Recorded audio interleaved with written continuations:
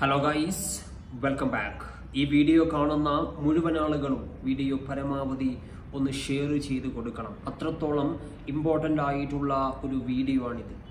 പരിചയമില്ലാത്ത ആളുകൾ നിങ്ങളുടെ വീട്ടിലേക്ക് വന്നു കഴിഞ്ഞാൽ നമുക്കറിയാം പല ആവശ്യങ്ങൾക്കായിട്ട് പല ആളുകൾ നമുക്കറിയാത്ത ആളുകൾ നമ്മുടെ വീടുകളിലേക്ക് നിരന്തരമായിട്ട് വരും. പല കളക്ഷനുമായിട്ട് ബന്ധപ്പെട്ടിട്ട് പല ബില്ലുകളുമായിട്ട് ബന്ധപ്പെട്ട് ഇതുപോലെ ഗ്യാസ് സിലിണ്ടറുമായിട്ട് വാട്ടർ സപ്ലൈ അങ്ങനെയുള്ള പല ആളുകൾ വീട്ടിലേക്ക് വരും.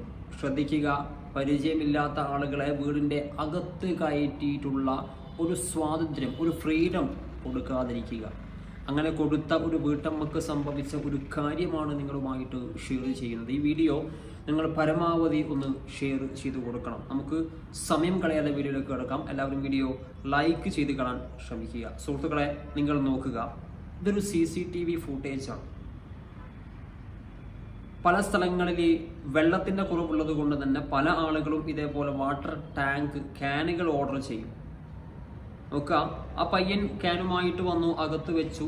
പൈസ ക്യാഷ് എടുക്കാൻ വേണ്ടിയിട്ട് ആ വീട്ടമ്മ അകത്ത് പോയ സമയത്ത് ആ വീട്ടമ്മയുടെ മൊബൈൽ ഫോൺ അവിടെ വെച്ചിട്ടാണ് അകത്തേക്ക് പോയത്. ആ പയ്യൻ അത് കാണുകയും അത് എടുത്തുകൊണ്ട് പോകാം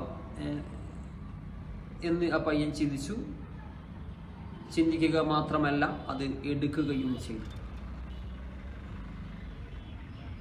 വളരെ സിമ്പിളായിട്ട് ആ വീട്ടമ്മ ആ വീട്ടിൽ തനിച്ചാട്ടോ. മറ്റാരും ഇല്ല. എന്തായാലും മൊബൈൽ ഫോൺ എടുത്ത് കയ്യിലാക്കി.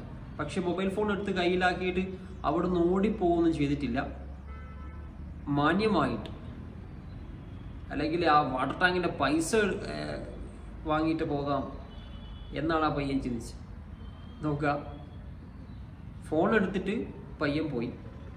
വീട്ടമ്മക്ക് പെട്ടെന്ന് തന്നെ ഫോൺ മിസ്സായത് മനസ്സിലായി. കാരണം അവിടെ തന്നെയാണ് വെച്ചത് എന്ന് ഉറപ്പായി. പുറത്ത് പോയി.